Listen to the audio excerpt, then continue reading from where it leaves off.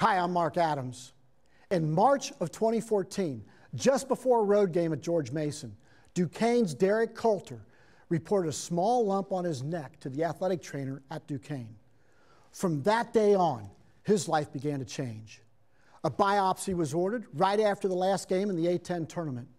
The result was clear. Derrick Colter had non Hodgkin's lymphoma. Upon hearing the news, Colter felt his life suddenly stop. His mother cried, and his dad just stared straight ahead. Colter knew he had to compete. It was now time for the younger brother, who was born healthy, to show the determination and grace of his older brother, JJ, who lived his entire life with cerebral palsy. JJ never spoke a word or walked a day in his life, but he had set an example of toughness before he died in 2012 for his younger brother to follow, especially now. Colter would be treated in Pittsburgh.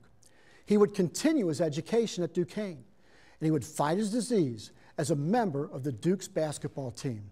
If attitude is truly paramount when facing a dreaded disease like cancer, then Derrick Colter's attitude was certainly part of the cure.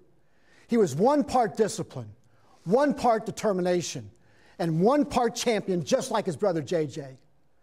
His discipline showed in his ability to keep his schedule both in the classroom and on the court.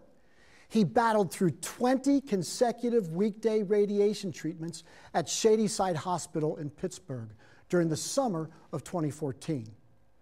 Colter continued his normal student life in his dorm room and his workout regimen throughout. Last season, Colter led Duquesne in scoring. Derrick Colter is a cancer survivor and is now the star senior guard of the Duquesne Dukes. He regularly visits pediatric cancer patients at Pittsburgh area hospitals. Derrick Colter is a winner, and we're proud to present him on the American Sports Network.